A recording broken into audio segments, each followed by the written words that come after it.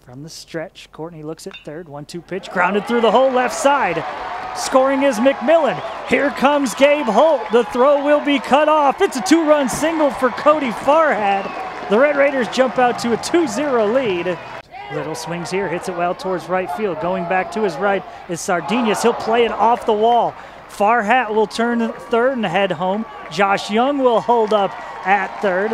It's the second double of the inning for the Red Raiders. Going back the right fielder, Sardinius. He can watch it leave the yard.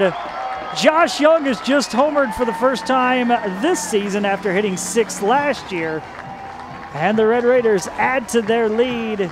It's now 4 to 1. Right-hander Jeffrian's breaking balls low in the dirt. Kelzer saw it, took off towards second, he'll get in safely.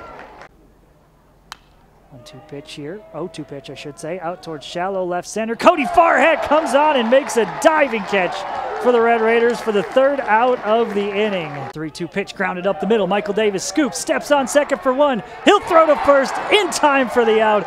It's a great day to be the Red Raider.